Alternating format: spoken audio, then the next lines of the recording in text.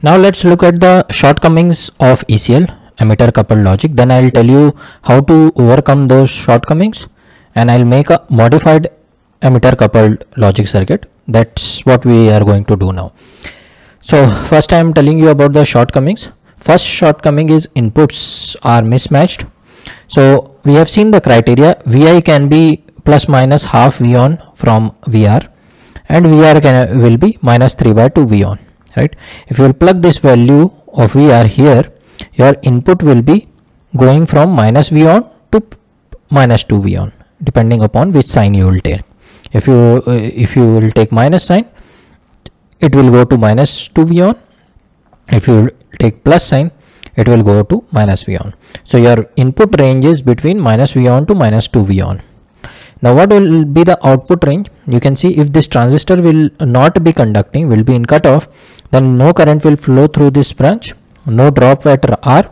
So Y will be connected to Y2 will be connected to ground. I'm just taking an example. Uh, this could be happen with both of them.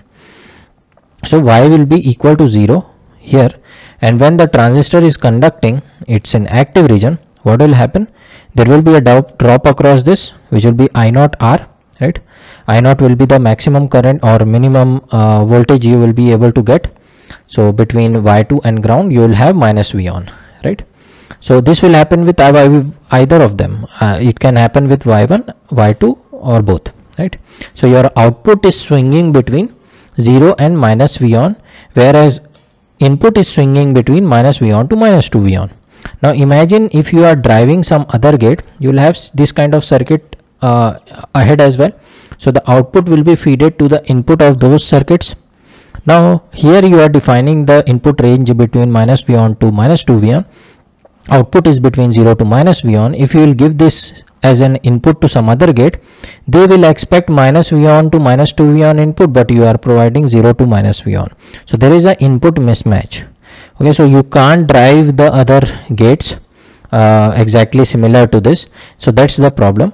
So which will be able to uh, over uh, overcome in modified ECL okay so that's what I have written. If these outputs these outputs feed it to some other gates there is some other transistors then inputs will be mismatched right? The, like this only you you you will be having transistors right?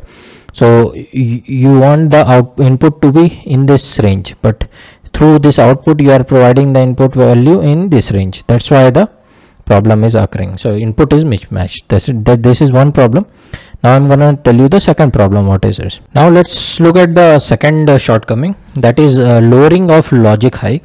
So what happens if you, if you are trying to uh, drive some other gate let's say this is a transistor same as this and you have a i naught vee so what will happen if this this this output is uh, 0 let's say which is uh, logic high? So this will start conducting right? Logic high you are providing then this will start conducting. So some close to ground voltage you apply it will start conducting. Uh, away from ground you apply it will not conduct because it is working on negative supply. If it will conduct it will draw some current right? It will draw some current. And here you are having this guy is conducting so all the current i naught will be current, uh, flowing through this transistor. So i naught here if you will imagine this i naught which was divided among the other transistors but it is flowing through all the all the i naught current is flowing through this transistor. I can imagine i naught will be the current here. So i naught by beta will be the current here right? It is a common uh, common collector right? Base current whatever is coming and uh, at the emitter you are taking the current so it will be beta times right? So i'm going reverse means i am dividing it. So i naught i know i naught with this current will be i naught by beta imagine the similar kind of scenario you have other fan outs as well. Like this is one transistor then similar you can imagine like uh, this arrangement again and this arrangement again. Like all of them will be driving this current i naught by beta. So at uh, finally what you can see here what current it will be there?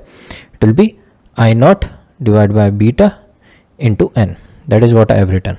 So when more number of transistors will be attached here uh, you will be having I naught by beta current from each of them and n is the number of transistor. So total I naught by beta n current. And it will come from this ground to this R right? Because you are having logic high here since it is not conducting. That's why you are having logic high. Since this is the current flowing through this R what will be the drop across it? VR I am writing I naught divided by beta n into R right? This is the current this is the resistance. So resistance multiplied by current is voltage. If the value of n is will increase means if you will increase the number of fan outs this voltage will increase and you will have a negative negative drop is there no? It's a minus sign. It is between this and this volt uh, point you are taking the voltage and current is coming opposite. So more negative you will have logic high okay?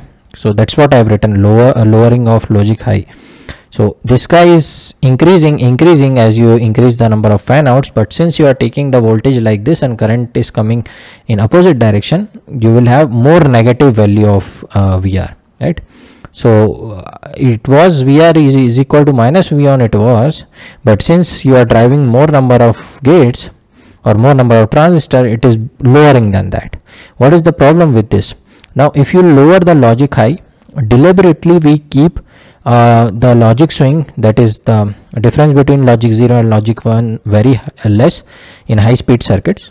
Uh, but if you lower it through this uh, uh, uh if it will lower through this phenomena even more then it's a problem right?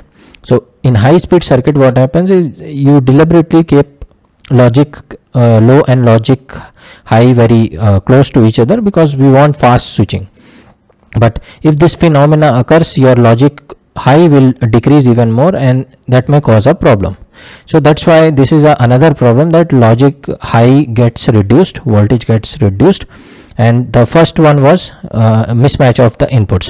So these two problems were there in ECL that's why modified ECL came where we will be using common collector arrangement uh, after the output and then we will take the output so that um, these two problems will be solved. We will see how